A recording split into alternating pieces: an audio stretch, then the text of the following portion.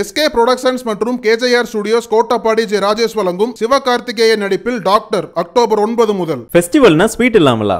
Celebrate this festive season with Adyar Ananda Bhavan sweets and snacks Meenakshi Academy of Higher Education and Research, Asia's greatest brand. For admissions, apply online. இனிமே என் பிள்ளையெல்லாம் பழச்சிக்கிறோம் அப்படின்னு தெய்வத்தை கும்பிட்றா வானத்தை கும்பிட்றா அதை கும்பிட்றா உள்ளர வர கதை பெரிய அரமணை கதை என்னன்னு தெரியுமில்ல அதை தட்டுறா. திறக்குனா அன்னை பொண்டாட்டி அங்கே இருக்கா? அவளுக்கு பேர் மூலி அலங்காரி. மூலி அலங்காரி மூதேவி சண்டாலின்னு பாட்டே போடுவாங்க நாடகத்தில். அவன் சண்டாலின்னு சொல்லி. கதவை திறந்தா பாரு. இப்போ புருஷனுடைய தங்கச்சி வந்துட்டா. என்னம்மாங்கிறா? எங்கள் நாட்டில் வறுமை மழையே இல்லை. பஞ்சத்தில் ஜனங்கள்லாம் செத்துக்கிட்டே இருக்க அண்ணி. அதனால தான் நாங்கள் இங்கே இருக்கலான்னு வந்துட்டோம். அவர் வரமாட்டேன்ட்டார். மக்கள் தான் எனக்கு முக்கியம். என் பிள்ளையில நீ போய் உங்கள் ஒன்றை வீட்டில் காப்பாற்றிக்கன்னு வந்துட்டார். அனுப்பிச்சிட்டாரு அண்ணின்னொன்னே ஒரு நிமிஷம் யோசிக்கிறா. வறுமை நாட்டிலேருந்து நீங்கள் வந்திருக்க? வரும்போது வறுமையும் வறுமையும் கூட்டுட்டு வந்துட்டியா? ஒன்றே இருக்குது வர்றது இல்லை என் வீட்டுக்குள்ளே வராது. நல்லா நான் சொல்கிறது கேட்டுக்க. உங்கள் வந்து மிருக வேட்டைக்கு போயிரு. மிருக வேட்டைனா பயிர்கள் எல்லாம் அழிக்குது மிருகம். அங்கே போயிருக்காரு. வந்ததுக்கு பிறகு நீ வீட்டுக்குள்ளே வா. அது வரல உன்னை பார்க்குறதுக்கு என்ன அழுக்காக போயிருப்பாளே. மாதக்கணக்கில் நடந்தவங்க எப்படி இருப்பா ஒரே துணி ஒரே சட்டை. குழந்தைகள்லாம் அதுவும் இல்லை. அதுக்கெல்லாம் எப்படி நீங்களே நேயர்களே கற்பனை பண்ணி பாருங்க. இதை பார்த்தோன்னே அறுவருப்பா அவள் வந்து சொல்லி அந்த இதுவும் பட்டு பாவா பா சேலைகள் அது மாதிரி நகைகள் மட்டும் ஜெய ஜேன்னு இருக்கா. அவள் ராணி இல்லை. அது நல்ல தம்பி மனைவி மூலி அலங்காரி ராணி. அருவறுப்பாக பார்க்குறான் உள்ளே வராதிங்கன்ட்டான் உங்கள் அண்ணன் வந்த பிறகு ஒரு முடிவு எடுங்க. அவர் ஏதாவது கொடுத்தா வாங்கிட்டு மறுபடியும் உங்கள் நாட்டுக்கு போயிருங்க. இங்கே தவிசி எங்கள் வீட்டிலேருந்து அந்த வரமே கொடுத்துறாங்கன்னு அப்படி குரூடாக பேசுகிறான் இப்போ என்ன பண்ணால் அன்னைக்கு நாங்கள் எங்கே தங்குற இடமா சொன்னோம். அதான் வெளியில் ஒரு கொட்டகை இருக்குல்ல அதில் ஓய்வு பிள்ளையில் போட்டு படுன்ட்டான் போட்டு அங்கே போய் படுத்து அங்கே உள்ள கீரையை வச்சு பிள்ளைகளுக்கு கொடுத்துக்கிட்டு அது கொஞ்சம் செழிப்பான ஏரியாவில் கீரைகளை வச்சு கொடுக்குறா. எங்கேயாவது காய்கறி இருந்தால் அதை நறுக்கு நறுக்கி குழந்தைகளுக்கு கொடுத்துட்டு இப்படி ஒரு வாரம் கிடச்சிட்டேன் அதுக்கு மேலே முடியாமல் வேறு பிள்ளைகளுக்கு காப்பாற்றணும்னா அவன் போனவே இன்னும் வரல. பழத்தோட்டத்துலேருந்து பழங்களை கொண்டாந்து வேலைக்காரங்க இந்த மூலி இலக்காரிட்ட அண்ணன் முண்டாட்டிட்டு கொண்டு வந்து கூட கூடையாக கூட கூடையாக வீட்டில் இறக்குறாங்க. இறக்குன ஒரு கூட தவறி வீடெல்லாம் பழங்களாக ஓடுது மாம்பழம். பல பழங்கள் அதில் மாம்பழம். இந்த குழந்தை என்ன பண்ணுச்சு? இந்த மாதிரி பழத்தை அவங்க பார்த்ததே இல்லை. பல மாதமெல்லாம் நடந்தே வந்தாங்க. இப்போ ஒரு வாரமாக இலையும் தெரிஞ்சு சாப்பிட்டுக்கிட்டு பக்கத்தில் இருக்க காய்கறியில் சாப்பிட்டுருக்க மாம்பழத்தை பார்த்தோன்னா ஓலை ஏழு குழந்தைகள் ஓடி போய் ஆளுக்கு ஒரு பழத்தை தீங்க திங்க ஆரம்பிச்சிச்சு. வீட்டுக்குள்ளே உடனே புட்டு புட்டு நடிச்சிட்டான் தரித்திரி முடிச்ச நாய்ங்களா? என் வீட்டுக்குள்ளே நீங்கள் வரலாமா? இதுக்கு தான் உங்களை உள்ளே விடக்கூடாதுன்னு சொன்னது. ஏதோ ஒரு வரட்டுமேனு உங்களை இங்கே தங்க வச்சுருக்கேன். இந்த நிமிஷமே இங்கேருந்து நீங்கள் போய் ஆகணும். எப்படி என்னுடைய அனுமதி இல்லாமல் இந்த தரித்திரம் முடிச்சுக்கிறது என் வீட்டுக்குள்ளே வந்து பழங்கள்லாம் எடுத்து தின்னுக்கிட்டு இருக்கு? அப்படின்னு கண்ணோ பண்ணான்னு திட்டா அதாவது வாயில் வரக்கூடாத வார்த்தையெல்லாம் பேசி ஏசி போகக்கூடிய இந்த நாட்டை விட்டே போங்க. உங்களை வெளிஞ்சு எழுந்திரிச்சா கதவு தான். உங்கள் மூஞ்சியில் முடித்தாலே என் குடும்பமும் எங்கள் எங்கள் நாடும் விளங்காயும் இதுக்கு மேலே பொறுமையாக இருக்க முடியாதுன்னு சொல்லி குழந்தைகளெல்லாம் அடித்து வெளியே தள்ளிடுறேன் இது படமாகவும் வந்திருக்கு. ஆர்எஸ் மரம் ஒரு நடிச்சு. நாடகம் ஆயிரம் நாடகத்துக்கு மேலே நடந்திருக்கு. நானும் அந்த நாடகத்தை பார்த்தேன். அடித்து தள்ளிட்டான் தள்ளி நான் இப்போ என்ன செய்யுது அதுக்கு மேலே பிள்ளைகள் அடிக்க ஆரம்பிச்சிட்டான்னு அதுக்காக வாங்கி வந்தா?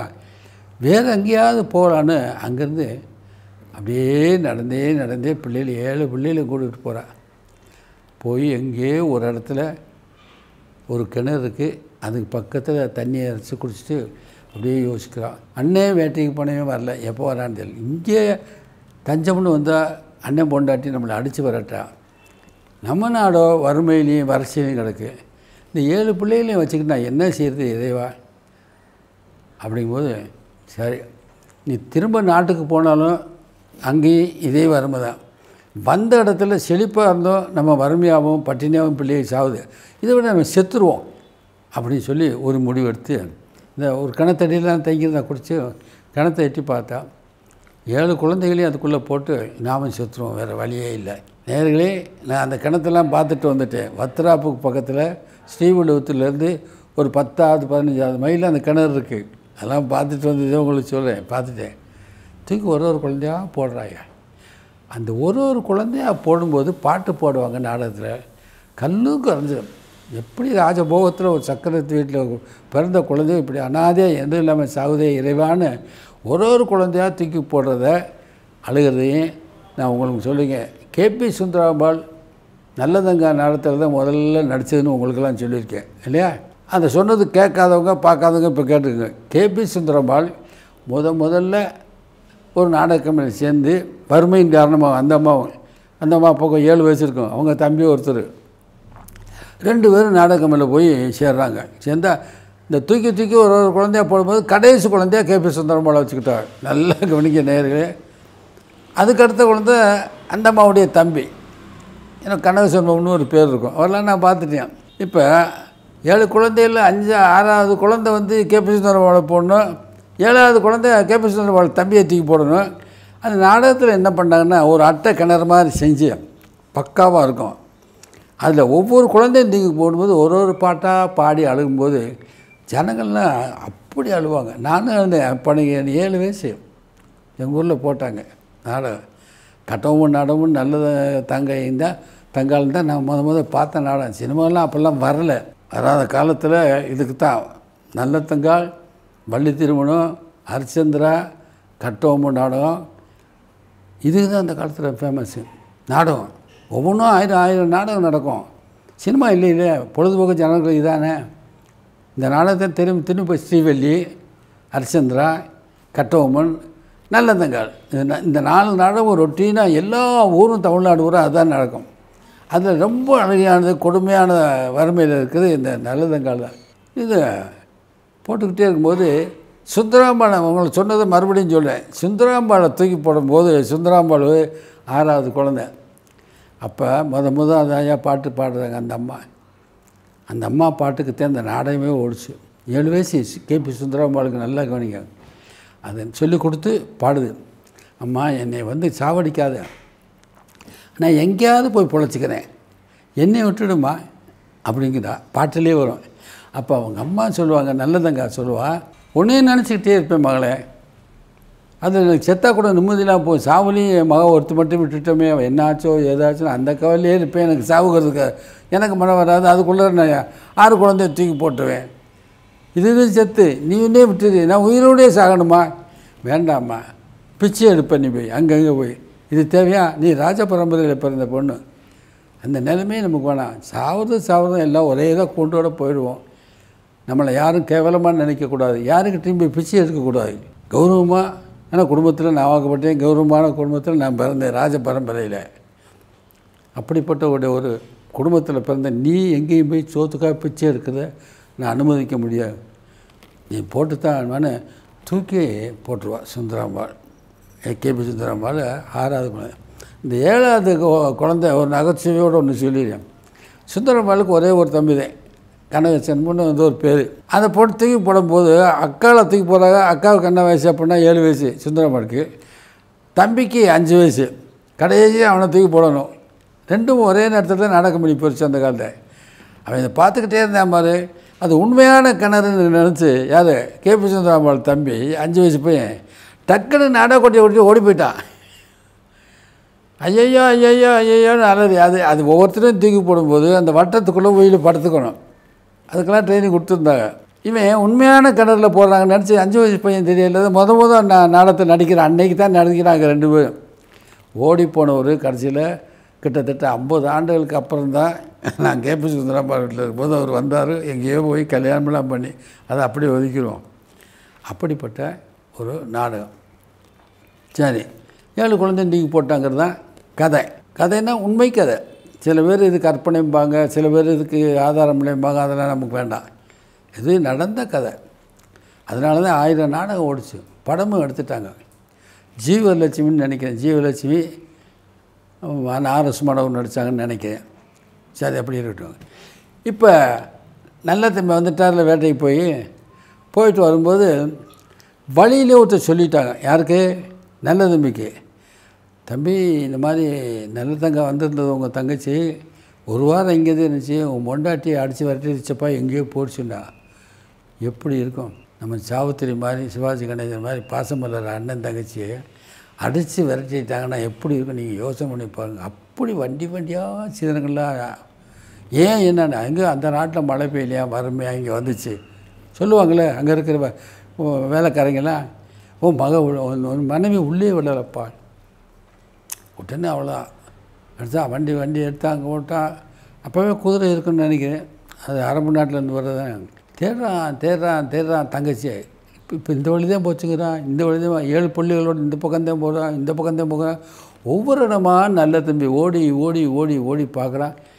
பேர் சொல்லி தங்கா தங்கான்னு கத்துறான். இங்கேருந்து ரியாக்ஷன் வரல எதிர்கூரில் வரல. அந்த ஏரியாவில் எங்கெங்கே இருக்கோ அந்த இடம். எந்த ஏரியாவில் எங்கெங்கே கிணறு இருக்கோ அதையும் பார்க்குறான். ஏன்னா அங்கே வேறு தற்கொலை பண்ணிக்கிறதுனா மரம் இல்லைன்னா கிணறுல பெண்கள் எப்போவுமே சூசைட் பண்ணிக்கிறது. தூக்குப்பட்டுக்குருவா இல்லை கிணத்துல விழுந்துவா இது எனக்கு நான் சின்ன வயசில் இருக்கும்போது எத்தனை பேர் கிணத்துல விழுந்தான்னு அளவே இல்லை. அவன் கோவப்பட்டால் உடனே கிணத்துல விழுந்துருவா. இல்லை தூக்கு போட்டுக்குருவா இதுதான் இப்போ தற்கொலை பெண்கள் பண்ணிக்கிற ஒரு ஆயுதமாக அந்த காலத்தில் இருந்து பார்த்தீங்க எல்லா பக்கமும் தானே ஒரே ஒரு கிணறு மட்டும் மீதி இருக்குது.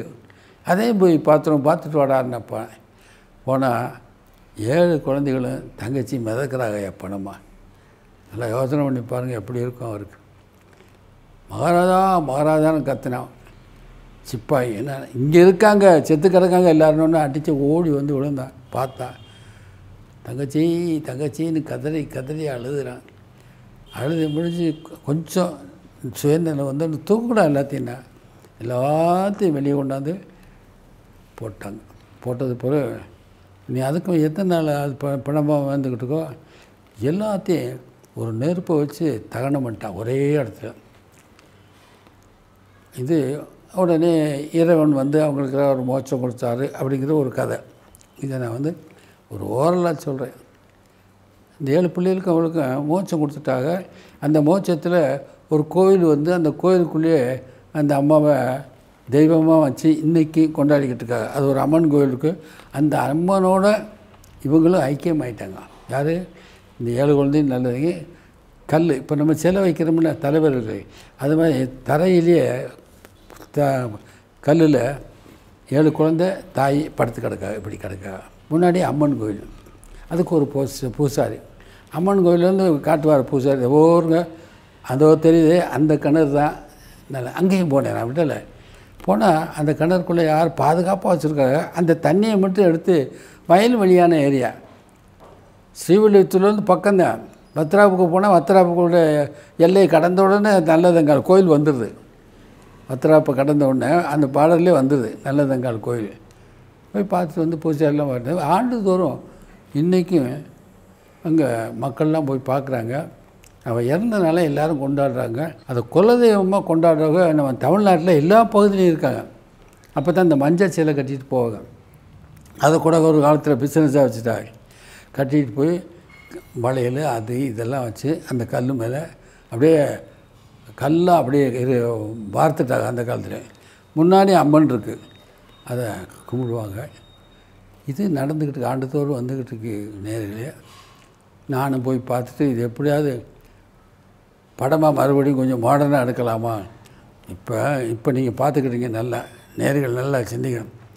சமீப காலமாக குழந்தைகளை போட்டுட்டு தாய்மார்கள் சாகராக பார்த்தீங்களா அது இந்த ஒரு அஞ்சாறு மாதத்துக்கு பிறகு ரொம்ப அடிக்கடி ஏதோ ரெண்டு நாளைக்கு ஒன்றா மூணு நாளைக்கு ஒருக்கா ஏதோ கணவன் வேறு பக்கம் போயிட்டாரு கள்ளக்காதலி கூட இல்லை எங்களை குடும்பப்படுத்துகிறாரு இல்லை வரதட்சணை கட்டி கொடுக்கூடாரு நம்ம மட்டும் செத்தா குழந்தை என்ன ஸ்டேட்மெண்ட் பேப்பரில் நீங்கள் படிச்சிருப்பீங்க.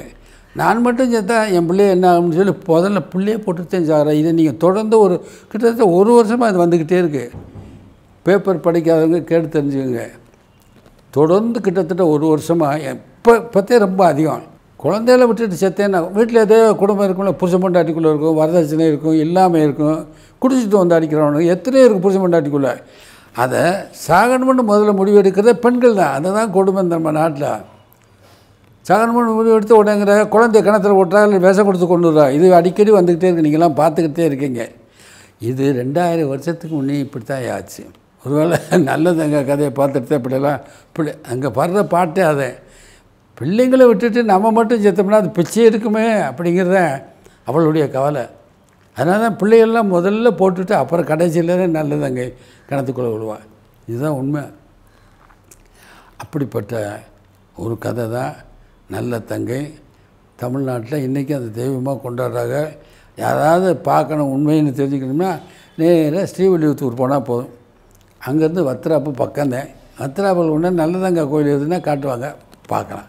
அன்றைக்கி நடந்தது இன்றைக்கி நடந்ததுக்கு இனியும் நடக்கும் போல தெரியும். பெண்கள் தான் சீக்கிரம் சீக்கிரம் ஒரு முடிவு எடுக்கிறாங்க. ஆண்கள் அல்ல. ஆண்கள் எப்போவோ ஒருத்தர் நூறு பேர் இதில் ஒருத்தர் தான் ஆண்கள் தற்கொலை பண்ணிக்கிறவன். கடனுக்காகவோ அதுக்காகவோ இதுக்காக எதுக்காகவோ. தொண்ணூத்தொம்பது ஒரு பெண்கள் தான் முதல்ல சாவுறாங்க. அது பிள்ளைகளை போட்டு. ஆகவே அந்த மாதிரி நிலைமையெல்லாம் வர வரக்கூடாதுன்னு சொல்லி நல்லதங்கால் கோயிலில் போய் நீங்கள்லாம் வேண்டிட்டு வாங்க நேயர்களே வணக்கம்.